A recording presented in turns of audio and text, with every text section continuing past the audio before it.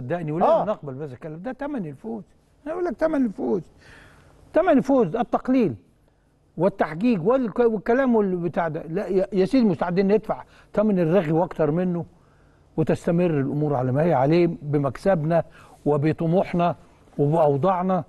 لأن الأهلي هو هو ليه كبير ليه كبير قوي الناس كلها بص عليه.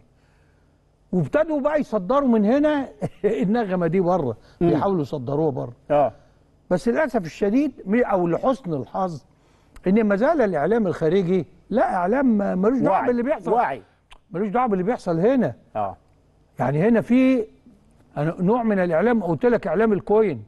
حط له العملة يشتغل آه. في نوع كده؟ آه آه. من التل آه.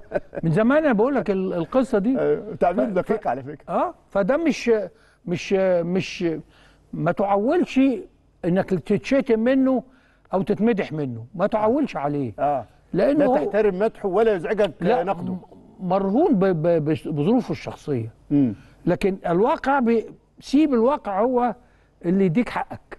آه. والواقع ده الانصاف بيجي لك من بره أكتر ما بيجي لك من هنا 100 مرة.